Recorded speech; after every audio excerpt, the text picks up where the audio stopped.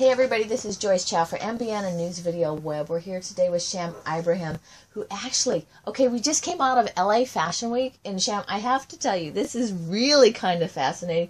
Okay, how in the world did you get Lindsay Lohan? I mean, how in the world did you get her attention to take a look at the portrait you did of her? Well, I mean, first of all, hello everyone, and thank you so much for having me. And um, the whole thing happened so fast that you know it's really hard to just kind of break it down. But what, what really happened was she was there to see the Marco Marco fashion show and the Mr. Triple X fashion show.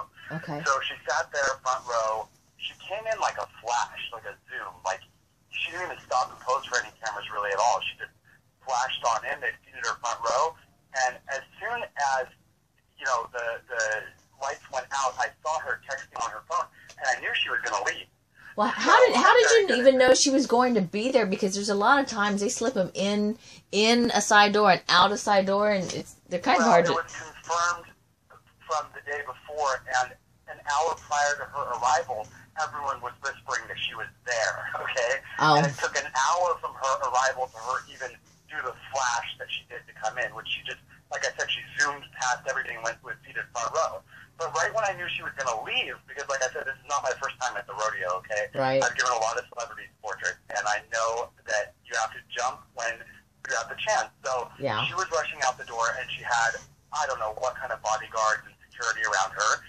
And I approached her with the portrait, and the portrait itself is kind of derogatory. I mean, it's it's a stylized tabloid portrait that's basically commenting on her jail time that she spent the 90 days in jail and the way the media treated it. So that's kind of that was kind of my angle. But of course, I'm not being derogatory towards her, but towards like the media and the press coverage and whatever. But nonetheless, the portrait itself deals with her sit in jail. So um, as she was, you know, exiting, I went up to her and I looked crazy. Like I, if you see the video, I look like a clown. And as soon as like her people started jumping and doing these insane basketball, football moves to block everything and block the camera, I just politely told her, "Look, I'm a pop artist and I did this. and I'd like to give it to you." Well, right when I said that, the manager lady, she goes, "No, no, thank you, no, no, no, thank you. We don't want that." She said. But Lindsay stopped. She looked at me up and down. She looked at the clown. Okay. She turned her head, looked at the portrait, and she saw exactly what it was. She saw exactly what it said. 90 days in jail is the top thing it says, okay? That's the Mhm. first thing you read on it. And she said, no, we want that. Stop. We're taking that. She told That- the, the lady. So she overrode her security. And the next thing I know, I was handing it to her. And you see that at the end of the video. I hand it to her. And, you know, I tell her, thank you so much. And it's nice to meet you. So, first of all, I'm just curious. It's like the whole concept of it is like, how do you choose who, first of all, to do a portrait of? Because you sit there and put a lot of effort into it, in not only creating it but getting it to them. Because when you're l- looking at your art, it's show it's pop art. It's not. Yeah, and that's you pretty much already kind of answered the question with what you said. I I base my art on what's popular in pop culture. I'm always looking at TMZ and Perez Hilton and all those websites and Radar Online. I'm looking at that not because I'm necessarily a gossip, but for inspiration. All my inspiration comes from the tabloids. All it comes from what you see and what we digest as an American, you know, pop culture and what we gravitate to. My theory, as any pop artist is, is that you know if we're so interested in that as a culture, well, you should hang it on your wall as a canvas. You know, I've done everything from Rihanna's, uh, you know, beaten police photo, which is probably my most publicized piece, to you know, um, Lindsay Lohan in jail, to you know, Casey Anthony as Marilyn Monroe. Um, you know, I've done so much, and it's usually what's in the media. And what, what kind of upsets me is I get a lot of my attention when it's celebrities. Okay, like I, you know, obviously people are into this because it's Lindsay Lohan and people are very interested in her. But I just did Trayvon Martin recently after that verdict came through, okay? And I, I really spent a lot of time thinking about my concept and I kind of I drew him as like uh, you know, the the symbol for justice. I drew that with Trayvon's face and kind of a broken hands, you know, because I felt like justice was not executed, as many people did in, in that verdict. Now, nobody wrote about that, and nobody talked about that at all. You know what I mean? So I try to do also, you know, political things. I did the oil spill. Nobody really cared about that. And the interesting thing is, I did that oil spill painting right around the time that Lindsay Lohan went to jail, and I did hers. and my commentary on that was that you know because I was watching the news a lot, and I, I saw more coverage of Lindsay going to jail than I did of the oil spill. Mm-hmm. So I did both because I wasn't you know sure which one was more important because that was honestly what the media was reporting on more was her going to jail than this giant catastrophe in the ocean. One of the things that I find fascinating is that in the art that you're doing, not only is it what's popular in the media, but it's not just about having the art out there. You go a step further in what you're trying to do to help people.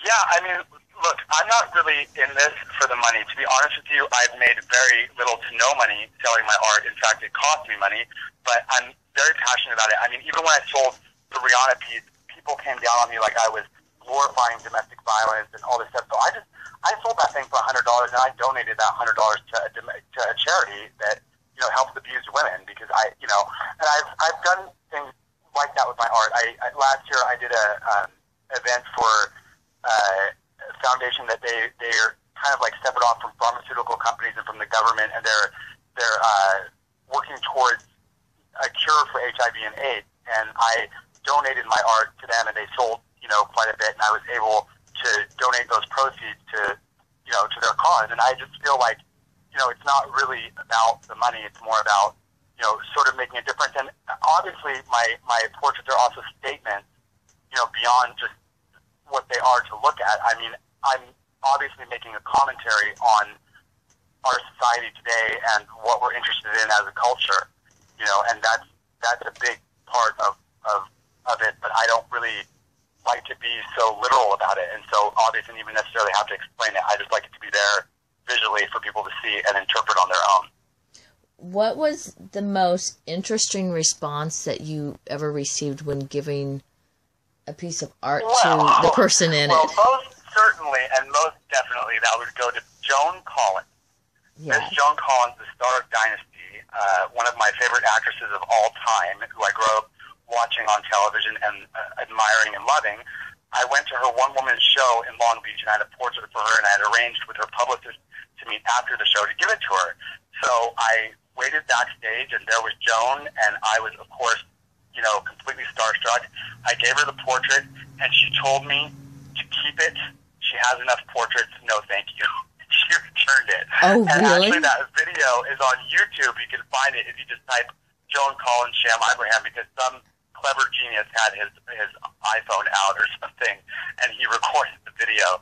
So, uh, you know, that Oh was kind of I've never had a celebrity give it back to me. That was the first time that ever happened, especially somebody like Joan Collins, who you know, I mean, uh, I really like I'm gay and everything. So, I mean, to us, she's like kind of like you know, major icon, like a Cher, Madonna level kind of lady, and I just love her. So it was pretty devastating, but it actually made for a better story. It, it makes it different than all your other stories. And then, of course, I have to well, ask you about. definitely. I mean, it's, you know, look, you need to have both. Not everybody's going to love everything. I've, I've learned as an artist, you have to have very thick skin. You know, people have criticized my work a lot, and you know, I, you know, I, I don't. It's like that saying goes. I, I, uh, opinions are like a holes. Everyone has one. You know what I mean? So, you know what I mean? That's, there's nothing you can do about that. There- There's always going to be a critic out there, but you know, I'm I'm more motivated by the people that get what I do, and that you know, like you, like you're interested in, you're asking me these questions, and you know, that's that's motivating to me. I mean, really. And I'm curious about Heidi Fleiss because not only did you do a painting of her, you actually did a movie. I did. I was an associate producer on a documentary for her this, for this amazing company called World of Wonder. Um, they're a production company that they do RuPaul's Drag Race, and they do. Uh, they're doing one right now on the cooking channel called uh, Drag My Dinner Party with some of the stars of RuPaul's Drag Race.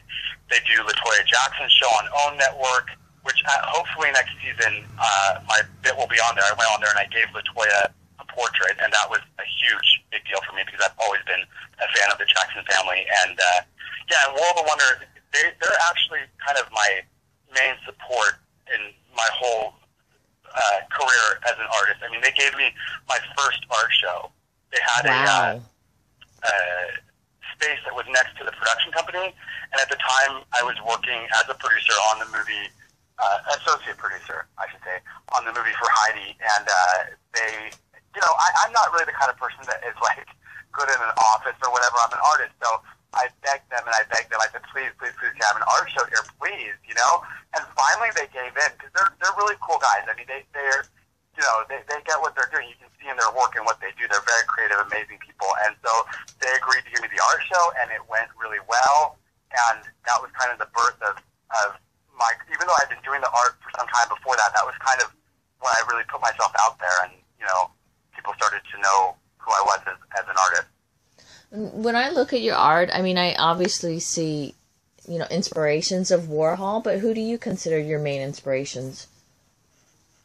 Well, I consider my main inspiration the, the celebrities and the people and the events that are in my uh, work because they inspire me to do the art. You know what I mean? If Lindsay didn't go to jail, I would have never been inspired to do a portrait of her going.